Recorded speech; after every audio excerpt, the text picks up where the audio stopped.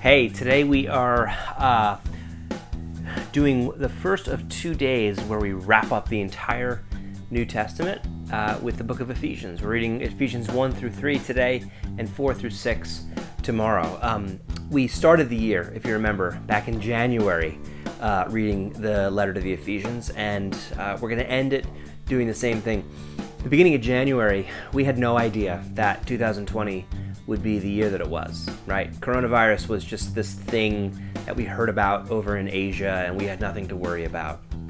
Um, turns out this year went quite differently than we thought it would, than we hoped it would, than we expected it would. For a lot of us, uh, for me personally, maybe even for you listening or watching at home right now, this has been a year uh, where you're tired. By the end of the year, maybe you got a little bump for Christmas, right? But but you're weary, you might be losing strength. Uh, I think what Ephesians has to say to us today uh, speaks directly to that.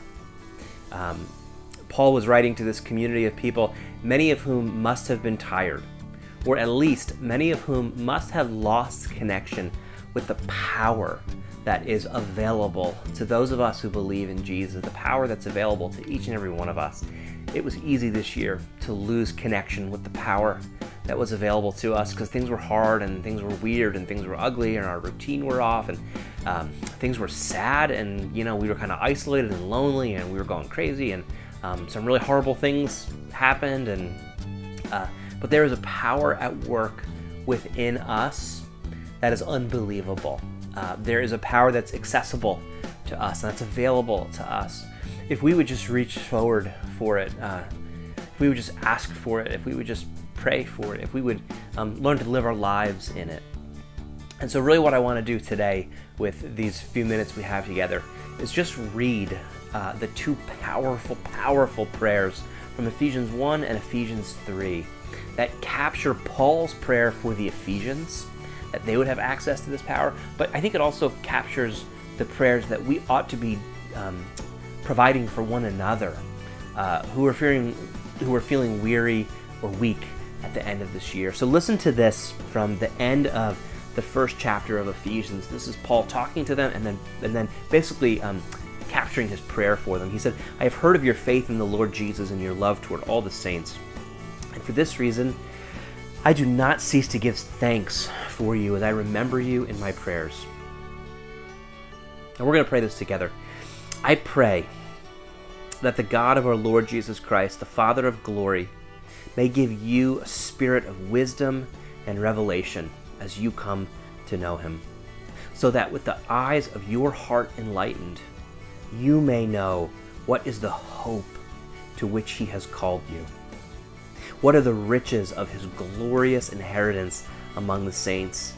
And what is the immeasurable power uh, the immeasurable greatness of his power for us who believe, according to the working of his great power. Listen, God put this work, this power to work in Christ when he raised him from the dead and seated him at his right hand in the heavenly places, far above all rule and authority and power and dominion, and above every name that is named, not only in this age, but also in the age to come. And he has put all things under his feet, and he has made him the head over all things for the church, which is his body, the fullness of him who fills all in all. Amen. Listen, with the eyes of your heart enlightened, I want you to know what is the hope to which he has called you, the riches of his glorious inheritance, and what is the immeasurable greatness of his power that is, that is at work in us as we believe. And then I, I just want to read also um, from chapter 3, starting with verse 14, this awesome prayer too. For this reason I bow my knees before the Father, from whom every family in heaven and earth takes his name.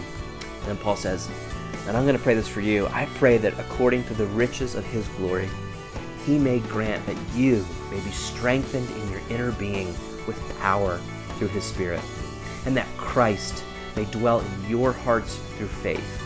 As you are being rooted and grounded in love, I pray I pray for you that you may have the power to comprehend with all the saints what is the breadth and length and height and depth, and to know the love of Christ that surpasses knowledge, so that you may be filled with all the fullness of God. Now, to him who by the power at work within us is able to accomplish abundantly far more than all we could ask or imagine, to him be the glory in the church and in Christ Jesus to all generations forever and ever. Amen. There is an immeasurable power out there for us to believe. We can be strengthened in our inner being by His power through His Spirit for us who believe. We can comprehend the love of God in a way that transforms things, strengthens us, and gives us power. And it is um, important in verse 20 is His power at work within us that accomplishes.